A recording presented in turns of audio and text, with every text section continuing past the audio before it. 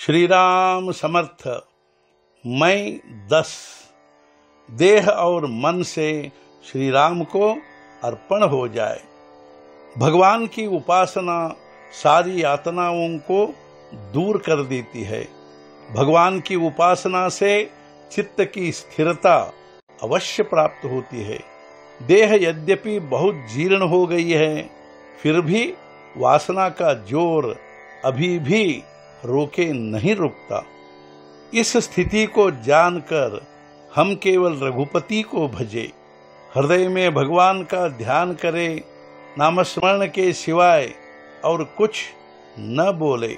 साथ व्यवहार कुशल बनकर किसी के अंतकरण को वेदना नहीं पहुँचे, इसका भी ध्यान रखे। जो ऐसा व्रत लेता है, उसके हृदय में राम का निवास होता है। मैं राम का हूँ, राम तुम मेरे हो। यही अखंड लो लगी रहे। हम जी जान से, राम से प्यार करें। अब मुझे इसके सिवाय और कुछ कहना नहीं है कि हम राम के बिना न जिए। जो होने वाला है, वह हो के रहता है और वह भगवान की इच्छा से होता है। ऐसी धारणा होना ही उपासना है। जिसे अखंड राम सेवा का लाभ हुआ, उसकी माता धन्य है। स्वार्थ रहित राम सेवा ही सबसे बड़ा लाभ है। राम को मन में धारण करो, मानस पूजा में उसका ध्यान करते जाओ। वाचा से भगवान का नाम लो, काया से भगवान की सेवा करो। चित्त में भगवान का ध्यान हो, स्वयं राम को अर्पित हो जाओ। इसके सिवाय अन्य कोई भी सेवा नहीं है। यही सबसे बड़ी सेवा है। उपासना दृढ़ हो, उसमें किसी भी बात की शर्त न हो।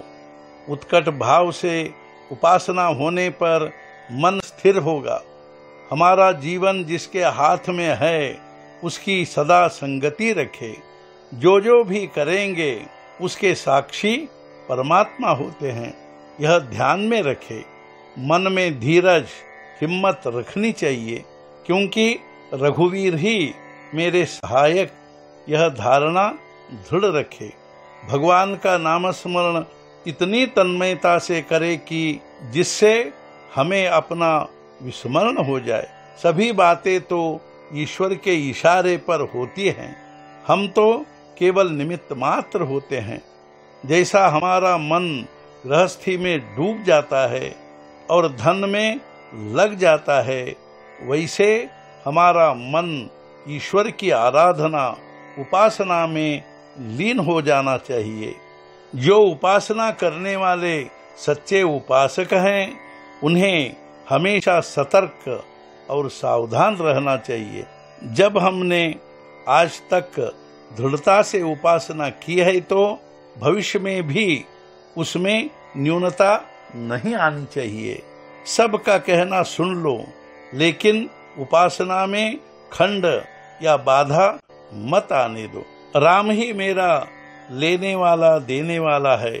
ऐसा मानकर राम ही मेरे आसपास इर्द गिर्द है, यह जानो। राम के सिवाय विश्व में कोई दूसरा नहीं है, यह भावना दृढ़ हो।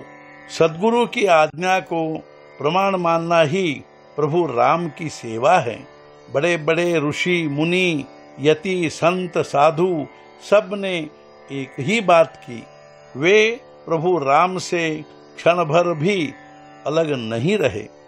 प्रभु राम पर पूर्ण विश्वास रखे। उपवास या ताप न करे। उपासना में लीन होने का अर्थ ही राम के सन्निध रहना है। स्वार्थ रहित सेवा से ही ईश्वर प्राप्ति होती है। जो भी कुछ होता है, ईश्वर की कृपा से होता है। यही विश्वास हमें हो, इसी से संतोष होगा। जहाँ ईश्वर की आज्ञा से सब कुछ होता है, वहाँ सामान्य आदमी की क्या हस्ती। अतः परमात्मा जैसे रखेगा, उसमें संतोष मानना चाहिए।